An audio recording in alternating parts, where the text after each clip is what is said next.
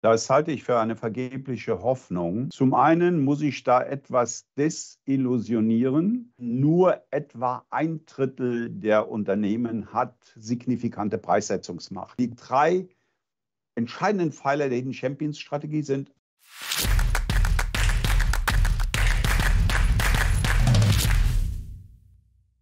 Servus Leute und herzlich willkommen in einem brandneuen Video auf meinem Kanal. Mein Name ist Mario Lochner und ich bin heute zurück mit der Serie Cuvades Deutschland. Sind wir noch zu retten? Und ich habe mir natürlich wieder einen sehr spannenden Gast eingeladen. Er ist emeritierter Wirtschaftsprofessor, Unternehmensberater und hat mehr als 40 Bücher geschrieben. Herzlich willkommen, Hermann Simon. Hallo, guten Morgen, Mario Lochner.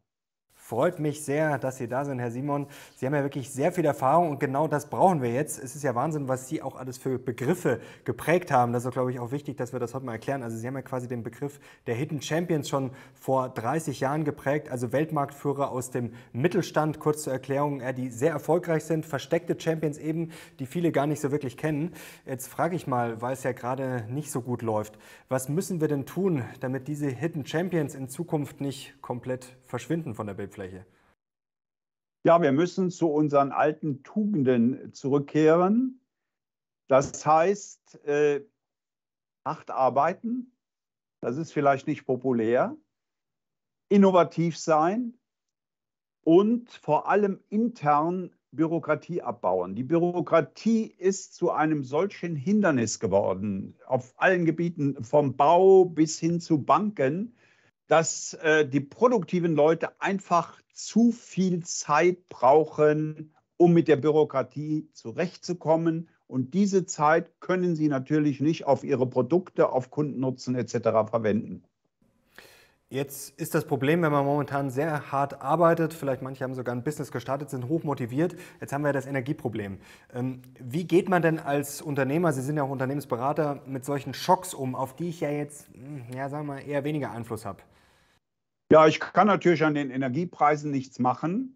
Also kann ich nur an der Einsatzmenge der Energie etwas machen. Das heißt, ich muss versuchen zu rationalisieren, teure Energien durch billigere zu ersetzen, leider auch in, an andere Standorte im Ausland verlegen, wo die Energie vielleicht billiger ist. Und da muss man allerdings sagen, dass die Hidden Champions und der Mittelstand generell sehr viel flexibler und schneller sind in der Anpassung an solche neuen Situationen als Großunternehmen oder als der Staat. Äh, ich bin insofern gemischt, optimistisch, pessimistisch. Äh, man kann sich natürlich einen Worst Case für diesen Winter ausdenken, der auch mit diesen Maßnahmen nicht zu bewältigen ist. Wenn es einigermaßen klappt, dann werden wir auch diese Krise überstehen, genau wie die Finanzkrise vor zwölf Jahren. Da war der Pessimismus ähnlich ausgeprägt wie heute. Allerdings waren die Bedingungen andere. Damals ging es vor allem um die, um die Finanzseite, ein Nachfrageloch. Jetzt haben wir das Energieproblem, Corona, äh, Talentmangel, äh, Supply Chain Engpässe. Also die Ursachen der jetzigen Krise sind ganz anders als äh, 2008, 2010. Aber die Anpassungsfähigkeit, insbesondere des Mittelstandes, wird sich wieder zeigen. Mhm. Was ist denn die Frage, die Sie momentan als Unternehmensberater am öftesten gestellt bekommen? Ja, im Moment ist natürlich ganz oben auf der Sorgenskala das Thema Inflation. Wenn die äh, Beschaffungspreise teilweise ja nicht nur für Energie, sondern auch für andere Rohstoffe, Materialien um 20, 30, 40 Prozent steigen, dann ist jedes Unternehmen in der Bredouille kann es diese Kostensteigerungen überwälzen das kann man in der Regel nur teilweise. Insofern ist jeder damit beschäftigt, äh, wie er mit dem Thema Inflation umgeht. Aber das ist eben nicht nur die einzige Sorge, sondern bekommt man überhaupt äh, das Material, das man braucht? Talentmangel. Ich sehe ja bei Handwerkern, die klagen nicht über Auftragsmangel, sondern die haben keine Leute, die die Arbeit erledigen können oder bekommen bestimmte Produkte nicht. Ich habe gerade auf meinem Bauernhof ein, ein Tor bestellt im Januar. Das ist jetzt montiert worden, weil der Handwerker einfach die notwendigen Steuerungen und diese Dinge nicht hatte. Also äh, wir haben mehrere Dinge zusammenkommen, die das Unternehmen, äh, das Leben für Unternehmen schwer machen. Und natürlich sind die Verbraucher massiv von der Inflation betroffen. Äh, ich halte Inflation für das antisozialste Phänomen überhaupt, weil es diejenigen primär betrifft, die ohnehin wenig Einkommen haben, die, die ärmeren Schichten, die Wohlhabenden, die kommen damit zurecht. Und insofern ist das eine Absurdität, dass die leichte Geldpolitik der vergangenen äh, 10, 12 Jahre ja eher von einer, äh, sage ich mal, sozialdemokratischen Welt betrieben wurde. Und heute müssen gerade die ärmeren Leute das ausbaden. Sie haben ein Buch geschrieben, das ist auch im Hintergrund zu sehen, die Inflation schlagen. Ähm, ja, wie kriegt, ja, sorry, da ist es. Natura. ja. Genau, hätte ich, hatte ich mir eh notiert, jetzt, habe äh, äh, jetzt haben Sie es schon prominent platziert im Hintergrund, deswegen spreche ich es gleich mal an, wenn wir jetzt schon bei dem Thema sind. Ja, wie schlägt man die Inflation? Man muss alles versuchen und das ist keineswegs nur ein Thema der Preise. Äh, die erste Verantwortung trifft den Chef, der muss einen Kulturwandel bewirken. Und äh, ich, ich schilder es mal am Beispiel des Einkaufs, wo man denkt, der ist ja nicht so von der Inflation betroffen. Unter normalen Umständen ist die Aufgabe des Einkaufs, die benötigten Produkte und Vormaterialien zu möglichst günstigen Preisen zu beschaffen. Im Moment haben wir eine Situation, in der der Einkauf es kaum packt, die Produkte überhaupt zu bekommen. Wenn Sie elektronische Chips haben wollen, dann stehen Sie ziemlich schwach da, wenn es zu Preisverhandlungen kommt. Wenn Sie Leistungen eines Handwerkers haben wollen und Sie sagen, die Preise sind mir zu hoch, da sagt er, ja, vielen Dank, ich habe zehn andere, die draußen auf meine äh, Arbeit warten. Also fällt beispielsweise dem Einkauf die Gesamtverantwortung für das Unternehmen zu. Wenn der die Produkte nicht beschaffen kann, dann steht die Produktion, dann steht alles still. Ich habe gerade mit einem Unternehmer vor einer halben Stunde gesprochen, der dieses Problem hat und in große Schwierigkeiten geraten ist dadurch. Äh, nur als Beispiel. Genauso betrifft es natürlich das Cash-Management. Äh, ich empfehle in dem Buch beispielsweise, wie das Konto einzuführen. Wir haben seit Jahren kein Skonto mehr gesehen, weil der machte keinen Sinn bei Zinsen von nahe an Null.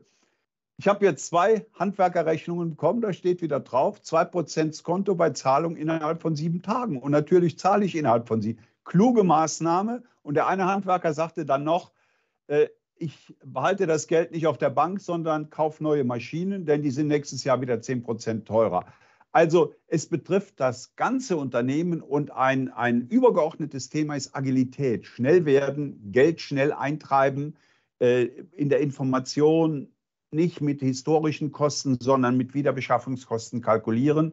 Äh, ist also ein ganzer Rattenschwanz, den ich in dem Buch detailliert und in einiger Tiefe beschreibe. Sehr spannend. Sie sind ja auch als Preispapst sozusagen bekannt geworden, also für Pricing da eine sehr hohe Kompetenz zu haben. Ähm, das würde mich jetzt noch interessieren. Also erste Frage, Teilfrage dazu, Inflation. Glauben Sie jetzt, Sie sind da ja sehr tief drin in diesen ganzen Prozessen, Preissetzung und so weiter. Ähm, glauben Sie, dass das jetzt ein Phänomen ist, was ja, uns erstmal weiterhin beschäftigen wird? Ähm, weil viele hoffen ja, ja, nächstes Jahr, dass das wieder schnell runtergeht und dass die FED dann wieder die Zinsen schnell senkt. Was ist da Ihre Einschätzung? Das halte ich für eine vergebliche Hoffnung. Und zwar muss man zwei Ursachen der Inflation unterscheiden. Die eine Kategorie sind die mehr kurzfristig wirkenden, wie äh, Corona, äh, Engpässe in der Beschaffung, Ukraine-Krieg äh, und diese Dinge. Die gehen in der Tat hoffentlich in den nächsten ein, zwei, drei Jahren vorbei. Die wichtigere Ursache ist aber die Aufblähung der Geldmenge. In der, in der Eurozone hat sich die Geldmenge seit 2010 verdreifacht. Das Bruttoinlandsprodukt ist aber nur um 30 Prozent gestiegen in diesem Zeitraum. Das heißt, zu viel Geld jagt zu wenig Ware und das bedeutet Inflation. Und jetzt kann die Europäische Zentralbank nicht diese Geldmenge in zwei, drei Jahren zurückfahren, dann würde Südeuropa, dann würden die Banken in größte Schwierigkeiten kommen. Und deshalb gehe ich davon aus, dass uns die Inflation die nächsten fünf bis zehn Jahre begleiten wird, äh, genauso wie das in den 70er Jahren war, was ich hier noch erlebt habe. Ich habe damals meine Doktorarbeit geschrieben und ähm, nicht auf dem heutigen Niveau von 10 Prozent, aber wohl von über 5 Prozent. Also die Hoffnung, dass wir in ein, zwei Jahren wieder auf 2% Inflation zurückkehren, die ist illusorisch. Und da ist jetzt ein Thema ganz wichtig, das beschäftigt uns, gerade wenn man jetzt investieren will, wenn man natürlich Aktien sucht, Unternehmen, die erfolgreich sind in diesem Umfeld, Preissetzungsmacht. Das ist ja generell was Interessantes, ähm, jetzt wahrscheinlich interessanter denn je, deswegen reden viele drüber. Ähm, aber es ist mittlerweile auch so ein Mythos. Also ich habe auch das Gefühl, ja, Preissetzungsmacht, man, man verteilt das einfach mal so und sagt, ach, das Unternehmen hat Preissetzungsmacht. Die Frage ist, wie hat man denn wirklich Preissetzungsmacht? Könnten Sie uns das vielleicht mal erklären, quasi, was da wichtig ist und vielleicht auch mal ein Beispiel Unternehmen, vielleicht haben Sie da was im Kopf, wo man sagen kann, ja, die haben wirklich Preissetzungsmacht und äh, das ist nicht nur eine Hoffnung. Ja, äh, zum einen muss ich da etwas desillusionieren. Äh, wir haben bei Simon Kucher äh, Studien gemacht weltweit und äh, nur etwa ein Drittel der Unternehmen hat signifikante Preissetzungsmacht. Pricing Power, wie wir das auf Deutsch, Neudeutsch nennen. Um mal ein Beispiel zu geben eines Unternehmens, das äh, wirkliche Pricing Power hat und, und auch an diesem Beispiel zu erklären, woran liegt das, das ist Apple. Wenn Apple seine Preise für das iPhone um 10 Prozent erhöhen würde, würden nur ganz wenige Apple-Kunden abspringen. Und äh, das ist die Leistung von Apple in der Vergangenheit über Innovation, über Markenimage, über äh, Siri und alles, was dazugehört, bis zum äh, tollen Design. Also Pricing Power ist in der Vergangenheit äh, verdienter Goodwill, äh, beim Kunden, die kann nicht kurzfristig geschaffen werden. Und äh, wir sehen ja, wie diese Kämpfe laufen äh, zwischen Handel und Lebensmittelhersteller. Äh, Coca-Cola gegen Edeka, Mars äh, liefert, beliefert nicht mehr Rewe und Edeka. Äh, Coca-Cola und Mars sind natürlich Firmen mit Pricing Power, die sich sowas erlauben können. Einer, der keine Pricing Power hat, würde der Händler sagen, ja, bitte bleib doch zu Hause, ich habe genug andere Alternativen. Aber äh, das ist der Ansatzpunkt auch für die Kommunikation, auch für den Vertrieb, auf Kundennutzen, auf Value to Customer die Argumentation legen. Wenn der Kunde einen höheren Nutzen wahrnimmt, äh, dann ist er auch bereit, mehr zu zahlen. Das gilt im B2B genau wie im B2C-Bereich. Also Pricing Power, Preisdurchsetzungsmacht ist äh, aus der Vergangenheit äh, erworbene und verdiente äh, starke Position beim Kunden. Unersetzbarkeit könnten Sie sagen. Mhm. Also ich brauche ein Produkt, was die Leute wollen, was im Zweifel auch nicht total austauschbar ist und was wahrscheinlich auch gut ist, wenn ich nicht abhängig bin, zum Beispiel von einem Lieferanten. Das ist ja, das sehen wir jetzt auch beim russischen Gas. Also das ist wahrscheinlich andersrum äh, die Preissetzungsmacht, in die man nicht reinkommen will, oder? Dass ich eine Abhängigkeit habe und der kann sagen, ach ja, mache jetzt mal 50 Prozent teurer und ich muss quasi zahlen oder ja, es ist vorbei. Ja, ja. Da gibt es übrigens noch ein interessantes Phänomen bei den Hidden Champions. Die sind ja häufig im, im Maschinenbau. Und da haben wir zwei, zwei Kombinationen von Eigenschaften.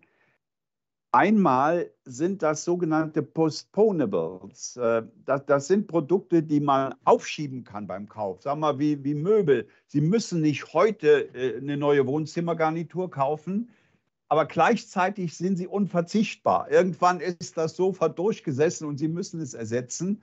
Und äh, das, das schafft dann kurzfristig möglicherweise Probleme.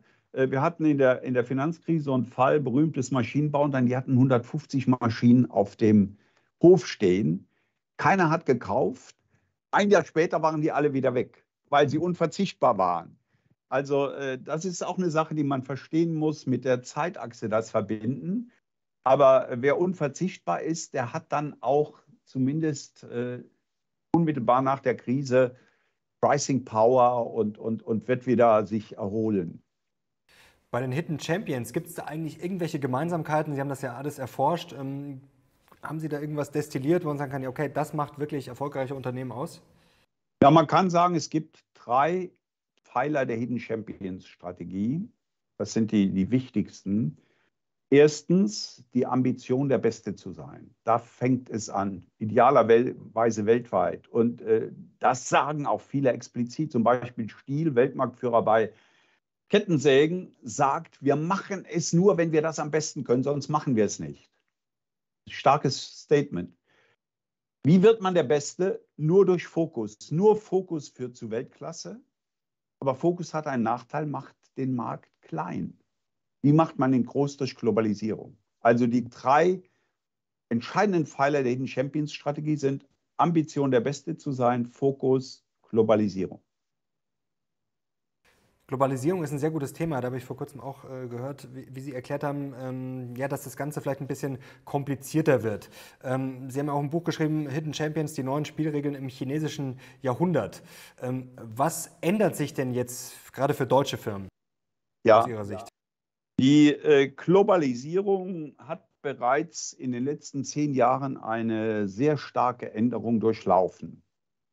Bis 2010 wuchsen die globalen Exporte sehr viel stärker als das globale Bruttoinlandsprodukt.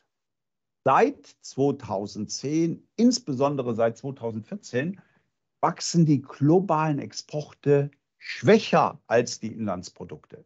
Ich nenne das relativ, relative Deglobalisierung. Das bedeutet aber nicht ein Ende der Globalisierung, sondern Exporte werden ersetzt durch Direktinvestitionen in den Ländern. Äh, wir haben zum Beispiel mehr als 2000 deutsche Fabriken in China. Äh, die Chinesen, auch Tesla, Tesla hat gerade eine Fabrik in, in äh, nahe Berlin gebaut, in Grünheide. Intel hat in Magdeburg eine gigantische Investition angekündigt. Also statt zu exportieren, die Produkte um die Welt herumzuschippern, geht man stärker in die Märkte hinein. Ich hatte ein Treffen mit 100 chinesischen Autozulieferern, die sagen, wir wollen alle nach Deutschland kommen mit Produktion. Äh, wir werden also eine Investitionswelle in den nächsten 10, 20 Jahren erleben, die uns keineswegs nur benachteiligt. Deutsche Firmen müssen stärker ins Ausland gehen. Das gilt für BASF, die gerade eine Rieseninvestition in China macht. Das gilt für Hidden Champions. Aber für die Chinesen, die Amerikaner gilt es genauso, die müssen nach Europa und nach Deutschland kommen. Also wir erleben eine, eine völlige Neuaufstellung der globalen Wertschöpfungskette. Und das Prinzip dahinter ist folgendes. Man muss jede Aktivität an dem Ort der Welt erledigen, wo sie am besten erledigt werden kann. Äh, zwei deutsche Hersteller von Bergwerkstechnologie, die haben ihre komplette Wertschöpfung nach China verlagert. Bei uns gibt es keinen Bergbau mehr. In China spielt ja nach wie vor eine große Rolle. Oder ein Hidden Champion, der baut gerade ein äh, Kompetenzcenter für künstliche Intelligenz in Shanghai auf, weil er sagt, in China kann man künstliche Intelligenzprodukte und Prozesse besser entwickeln als in Deutschland.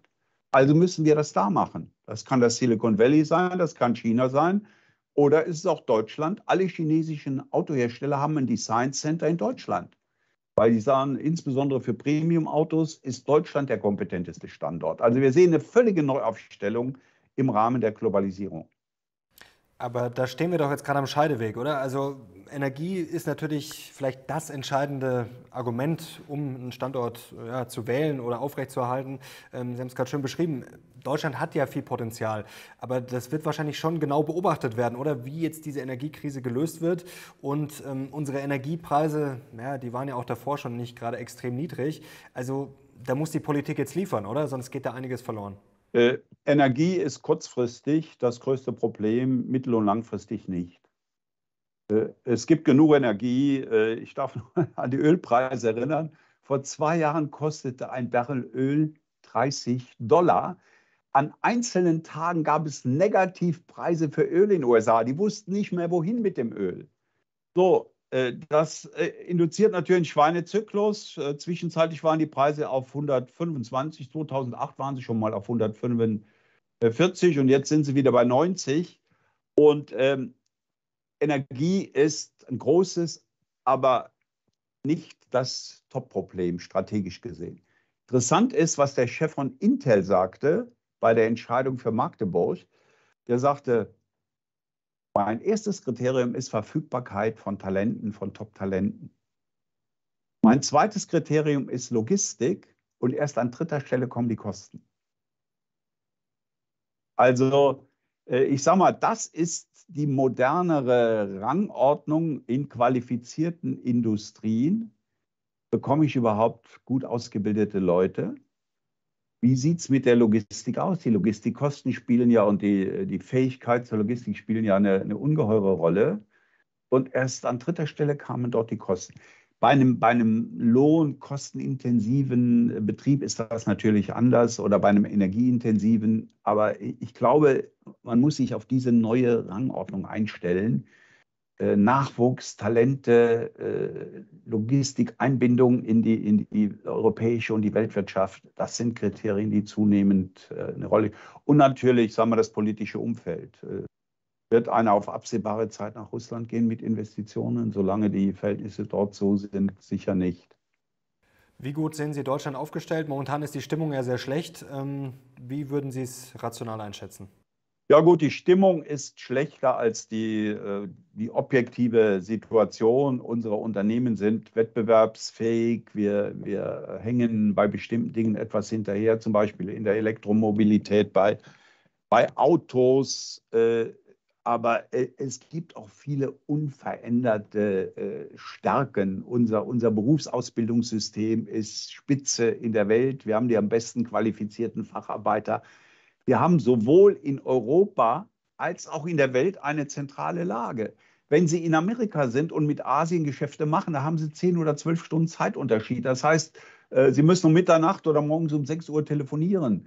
Äh, Sie müssen 20 Stunden reisen. Wir sind in, in weniger als elf Stunden in Tokio und äh, in der gleichen Zeit in San Francisco. Wir können in normalen Bürozeiten mit, mit beiden Standorten telefonieren. Also wir haben eine Menge von Vorteilen. Wir haben ein stabiles äh, politisches System, auch wenn im Moment da viele schwer verständliche Entscheidungen fallen. Aber Kanzler Scholz hat ja jetzt gesagt, die drei Atomkraftwerke bleiben zumindest bis zum April nächsten Jahres in Betrieb. Das ist ja schon mal eine Entscheidung, die, glaube ich, auf große Zustimmung trifft. Also unsere Stärken sind ja nicht, äh, nicht verschwunden von heute auf morgen. Und äh, da setze ich insbesondere auch auf den Mittelstand und die Hidden Champions in der Flexibilität der Anpassung, aber auch in der, in der technischen Kompetenz. Ich meine, ich bringe in, in meinen Vorträgen immer so einige Beispiele, die, die keiner kennt. Äh, schätzen Sie mal, wie viel Zulieferer Apple in Deutschland hat. In Deutschland äh, 20? 767. Ich habe jetzt schon vermutet, dass es viel ist. Ja, das war natürlich dann auch eine rhetorische Frage. Um mal ein Beispiel zu geben, äh, viele Leute benutzen Siri von Apple oder Alexa bei Amazon. Die dahinterstehende Software, künstliche Intelligenzsoftware, heißt LSTM, Long Short Term Memory, von Professor Jürgen Schmidhuber von der Technischen Universität München entwickelt auf mehr als drei Milliarden Smartphones installiert. Deutsch-schweizerische Software. Teamviewer, Remote Screen Control ist auf mehr als 2,5 Milliarden Geräten installiert. Wir sind das erste Land mit Level 3 autonomem Fahren. Es gibt kein Land, 40 Prozent aller Patente für autonomes Fahren kommen aus Deutschland. Das sind alles Dinge, die, die sind nicht bekannt, weil dahinter die Hidden Champions stecken. Keiner kennt einen von den 767 Apple-Zulieferern. Jetzt ist ja die Frage, warum schaffen wir es quasi nicht in die, ich sage jetzt mal, in die Champions League, denn dass wir ein guter Standort sind, dass wir gute Leute haben, dass wir gute hm. Produkte hervorbringen, da glaube ich, äh, brauchen wir nicht drüber diskutieren, das ja. ist ja völlig klar. Warum gibt es, die Hidden Champions sind ja auch eine geniale Erfindung, aber warum gibt es keine Champions wie Apple, wie Facebook, quasi die internationalen Rang haben, die dann vielleicht auch nochmal den Einfluss verstärken? Also sowas muss doch theoretisch in Deutschland auch möglich sein. Also liegt es auch daran, dass wir uns selber zu klein machen? Ja, die, die, die gibt es natürlich, aber es gibt sie nicht in den Digitalisierungsmassenmärkten. Ähm, Münchner Rück ist die größte Rückversicherung der Welt. Allianz ist einer der größten Player. Also wir haben schon äh, große Stars in ihren Branchen. Aber wir werden keine Facebooks und Googles in Deutschland haben oder in Europa. Das darf ich mal am Beispiel von, von Uber erklären. Uber hat sein System einige Jahre in San Francisco getestet und hat es dann auf alle amerikanischen Großstädte ausgerollt. Wenn Sie dasselbe in Berlin machen, dann müssen Sie, um es auf Europa auszurollen, 27 Bürokratien und 27 Sprachen überwinden aus Deutschland heraus und Sie können sagen, aus Europa heraus werden keine globalen Standards in der Massendigitalisierung geschaffen. Es gibt ein paar Ausnahmen wie Skype und, äh, und, und ähm, äh, die Musik, äh, Spotify, aber die bestätigen eher die, die, die Regel, diese Ausnahmen. Wo wir aber stark sind, ich habe LSTM bei Apple genannt, äh, TeamViewer, DeepL bei Übersetzungsprogrammen, Celonis bei sogenannten Process Mining Systemen. Und da kann ich Ihnen viele weitere nennen. Das ist industrielle Prozesse. Und das ist wieder unser klassisches Feld. Wenn wir mal an die, an die Vergangenheit denken, wir haben auch keine globalen Konsumgüterunternehmen gehabt. Wir haben keine Coca-Cola, äh, wir haben kein McDonald's, wir haben kein Marriott. Und solche Firmen, die im globalen Konsumgütermarkt eine, Rolle, eine Rolle spielen. Und trotzdem sind wir sehr stark, weil wir in den industriellen Märkten so stark sind. Und ich sage mal, äh, für ein kleines Land wie Deutschland ist diese Position ausreichend. Wenn wir das weiter in den industriellen Märkten, auch bei der Digitalisierung, so gut machen wie in der Vergangenheit, mehr in dem Hardware-Zeitalter, dann haben wir genug Arbeit und genug Wohlstand. Im, Im, Konsumgütermarkt der Digitalisierung erwarte ich von uns keines. So, jetzt gibt es ein fundamentales Problem, was aus, auch eine historische Einmaligkeit ist. Diese Firmen, Apple, Microsoft, Google und Facebook, die haben alle Netto-Umsatzrenditen von über 25 Prozent. Das ist ja noch nicht so schlimm, aber die sind auch ungeheuer groß. Apple hat im letzten Jahr 368 Milliarden umgesetzt. Google hat alleine aus Werbeumsätzen 208 Milliarden Dollar eingenommen. Und äh, wenn man dann die Gewinne der deutschen Firmen sieht, dann, dann muss man eine Lupe haben. Also äh, das ist jetzt kein deutsches Problem, das ist ein, ein global strukturelles Problem. Äh, das meines Erachtens noch nicht so bleiben kann. Ich, ich gehe davon aus, dass diese Firmen zerschlagen werden, weil das ist äh, ein untragbarer Zustand. Ein Prozent dieser Superstars kassiert 36 Prozent der globalen Economic Profits. Economic Profit ist, was über die Kapitalkosten hinausgeht. Also wir haben eine Konzentration bei den Gewinnen, die es noch niemals in der Geschichte so gab. Und äh, das ist eigentlich eine untragbare Situation. Äh, Apple könnte locker den ganzen DAX kaufen. Also aus der Portokasse sozusagen. Das ist eine Gefahr für uns. Verhältnisse sind auf jeden Fall Wahnsinn. Ja, es wird spannend. Also wird ja schon darüber ja. diskutiert über Zerschlagungen und Co. Gut, das wird sicherlich, wenn etwas dauern und sich hinziehen. Aber ja, die Spekulation. Ja, das hat es ja historisch gegeben. 1911 ja. wurde der Ölmonopolist Rockefeller Standard Oil zerschlagen äh, ATT, die quasi auch die Telefonfirmen eine äh, Monopolstellung in Amerika hatten, wurden in den 70er Jahren zerschlagen. Also das gab es ja schon häufiger in der Geschichte und ich erwarte, dass äh, hier wieder so etwas Ähnliches passieren. Es gibt ja diesen, ich weiß nicht, Sherman irgendwas Actor, das ist ja. Ja, das war der 1911, ja. Und ja. das ist ja, glaube ich, sogar noch in Kraft. Also ich bin jetzt. Ja, ja, das also, ist alles noch möglich. Das hat übrigens dazu geführt und es wird dann wieder dazu führen, dass, äh, sagen wir, die Tochter die daraus entstehenden Gesellschaften, die waren sehr erfolgreich. Äh, ich behaupte ja sogar, es gab einen über zehn Jahre laufenden Prozess gegen IBM in den äh, 70er Jahren und äh, das führte aber nicht zur Zerschlagung. Und IBM feierte das war das größte Pech, wenn IBM, was IBM, wenn, wenn IBM damals zerschlagen worden wäre, dann gäbe es äh, Microsoft nicht und wahrscheinlich Apple nicht, sondern das wären dann Baby IBMs, die diese Geschäfte gemacht hätten. Ich war 79 ja.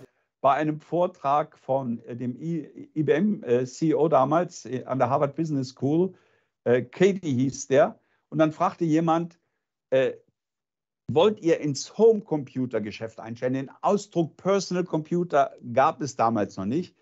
Dann sagte der äh, CEO von IBM, we are not a washing machine producer. ja, das, das, das, sind so Aussagen, das gibt es ja mittlerweile viele, viele Klassiker, wie auch zum, ja, zum Internet ja. und Co. Völlig, völlig äh, nicht erkannt das Potenzial, das sich da mit äh, Mikrocomputern und später Personal Computern und Laptops auftat. Bei Amazon ist es ja auch so, ähm, dass ja AWS mittlerweile ja eigentlich viel wertvoller ist, also hochprofitabel, ja, wächst stark und äh, das wäre wahrscheinlich auch so ein, so ein Beispiel. Kommen wir langsam äh, zum Ende, Herr Simon. War sehr spannend. Jetzt wäre noch eine Frage. Also Sie sind relativ bullisch nach wie vor, optimistisch, aber die Frage ist ja, wie können wir es trotzdem besser machen? Äh, Sie haben ja über China, über das chinesische Jahrhundert geschrieben. Jetzt sollte man sich von China sicherlich nicht alles abschauen, aber was kann man von China lernen? Wo haben wir noch Optimierungspotenzial? Also ein Beispiel, wo ich eine, eine echte Bedrohung sehe, ist, die deutschen Mittelständler und Hidden Champions sind ja überwiegend Familienunternehmen, die große Zurückhaltung gegenüber der Börse haben und äh, deshalb ihre Finanzierung vor allem aus dem Cashflow betreiben müssen. Das geht natürlich langsam. Die Chinesen gehen sehr früh an die Börse, sammeln riesige Kapitalsummen ein und investieren die in zwei Dinge. Einmal in Forschung und Entwicklung. Bei vergleichbarer Größe haben Hidden Champions aus China dreimal so viele Leute in Forschung und Entwicklung. Um ein Beispiel zu geben, Carl Zeiss hat 3100 äh, Leute in FE. Hikvision, der globale äh, Marktführer bei Überwachungskamera, hat 9300, genau die dreifache. Und das erinnert mich an eine Erfahrung vor 17 Jahren. 2005 besuchte ich Nokia in Helsinki. Äh, die hatten damals knapp 50 Prozent des Mobiltelefonmarktes weltweit. Ich habe noch nie so eine arrogante Firma besucht. Und die sagten, wir haben 19.000 Leute in Forschung und Entwicklung. Uns kann keiner das Wasser reichen. Mobilfunkmarkt. Drei Jahre später hörte ich einen Vortrag vom CEO of, äh, von Huawei, das war in, in, in New Delhi. Der sagte, wir haben 52.000 Leute in Forschung und Entwicklung. So, wir wissen alle, was daraus geworden ist. Droht uns wieder so etwas Ähnliches? Also wäre ein Appell an die Hidden Champions in Deutschland, überlegt doch mal, ob ihr, um auf der Kapitalseite mit den Chinesen wettbewerbsfähig zu bleiben, auch für Amerikaner gilt das übrigens, gehen ja auch eher an die Börse, ob ihr nicht äh, die Börse als Kapitalquelle nutzen wollt und nicht nur vom Cashflow beim Aufbau eines, eines Kapitalstocks lebt. Als ein Beispiel. Also brauchen wir eine Aktienkultur nicht nur bei den privaten Leuten, sondern auch mehr bei den Firmen. Bestärkt, ja. Mhm, sehr spannende These. Herr Simon, ja, ich glaube, wir können uns jetzt noch ewig weiter unterhalten. Macht großen Spaß. Können wir vielleicht auch gerne wiederholen. Also wenn ihr Herrn Simon wieder sehen wollt, dann gebt mal gerne Daumen nach oben. Vor allem das Thema ja mit der Aktionärskultur äh, finde ich sehr spannend. Mehr Firmen an der Börse. Ja, auch das Thema Inflation kann man natürlich äh, vertiefen, weil äh, da gibt es so viele Aspekte, die, die zu beachten sind. Äh, die Leute verstehen auch oft nicht, was, was wirklich Inflation ist. Das würde ich dann erklären. Haben Sie noch einen letzten Punkt, vielleicht eins, um, um schon mal anzuteasern, was die Leute vielleicht, äh, was so unterschätzt ist? Dann können wir das gerne, gerne mal vertiefen. Ja, äh, wenn man die Leute fragt, was ist Inflation, dann sagen die, die Produkte werden teurer. aber in Wirklichkeit ist Inflation etwas anderes, nämlich das Geld wird weniger wert. Und zwar speziell unser Fiat-Geld, das aus dem mir nichts geschaffene Geld, so wie der liebe Gott, der sprach ja Latein, Fiat Lux gesagt hat, die Welt aus dem Nichts geschaffen hat, so wird das Geld aus dem Nichts geschaffen. Das kann man sehr schön erklären, wenn man ein anderes Geld nimmt, nämlich Gold. Für eine Unze Gold haben sie im alten Rom eine maßgeschneiderte Tunika bekommen. Für eine Unze Gold bekommt man heute einen maßgeschneiderten Anzug. Das heißt, der Wert der Ware hat sich nicht verändert. Das Geld ist vielmehr zu einem verderblichen Gut geworden wie Obst. Und was bedeutet das? Das bedeutet beispielsweise, dass man es möglichst schnell eintreiben muss. Man will ja auch kein altes Obst kaufen und schnell wieder loswerden muss, weil das Obst verdirbt und das Geld verdirbt genauso. Also ein Beispiel, was im Kern Inflation ist, nicht die Waren werden teurer, das Geld wird weniger wert. Herr Simon, herzlichen Dank. Es hat großen Spaß gemacht. Ganz meinerseits, Dankeschön und bis bald. Und danke euch fürs Zuschauen. Ich bin jetzt sehr gespannt auf eure Kommentare und wie gesagt, wenn es euch gefallen hat, gerne Daumen nach oben und natürlich den Kanal abonnieren, um nichts mehr zu verpassen. Danke Ihnen, danke euch fürs Zuschauen. Wir sind jetzt raus. Ciao.